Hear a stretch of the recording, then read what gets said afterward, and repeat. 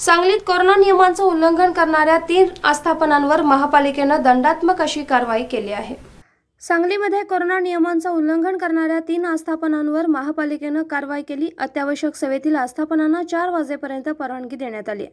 मात्र सांगली शहरात अत्यावश्यक सेवेत नसतानाही काही आस्थापना सुरू असल्याची माहिती मिळाल्यानंतर मनपा आणि पोलीस पथकानं शहरातील तीन आस्थापनांवर कोरोना नियमांचं उल्लंघन केल्याबद्दल दंडात्मक कारवाई करण्यात आली आहे. या कारवाईत संबंधित आस्थापनेकडून सात हजारांचा दंड वसूल करण्यात आला.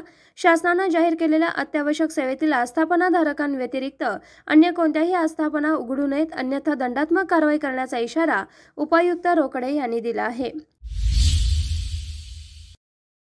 माननीय जिल्हाधिकारी यांच्या आदेशाने ज्या अत्यावश्यक सेवा आहेत त्यांना फक्त दुपारी चार वाजेपर्यंत परवानगी देण्यात आलेली आहे.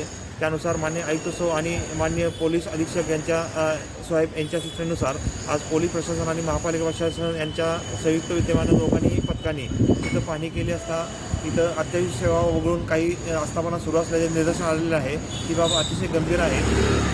कोरोनाचा प्रादुर्भाव महापालिका क्षेत्रामध्ये थोड्या भाव प्रमाणामध्ये कमी आढळून येत आहे. तरी पण लोकांनी गाफील न राहता जर का नियमांचं ते उल्लंघन कुठल्याही स्वरूपात नाही केल्यास अजून कोरोना कमी यायला आपल्याला मदत होणार आहे. सर्व आस्थापनाधारक दुकानदार नागरिक यांना मी विनंती करतो पुनशे आवाहन करतो की म्हणजे आपण जे प्रशासनानं घालून दिलेले निबंध निर्बंध आहेत त्याचं पालन करावं जेणेकरून महापालिका क्षेत्रातील कोरोनाचं उल्ल उच्चारण होण्यास आपल्याला मदत होणार आहे. त्याचबरोबर काही व्यापारी त्यांचा व्यापारी महत्त्वाचा असला तरी कोरोना प्रतिबंधक उपाययोजना म्हणून जे जे नियम दिलेले आहेत त्याचेही पालन केलं असता आपल्याला नक्कीच त्याचा फायदा होणार आहे. Bureau report SBN Marathi.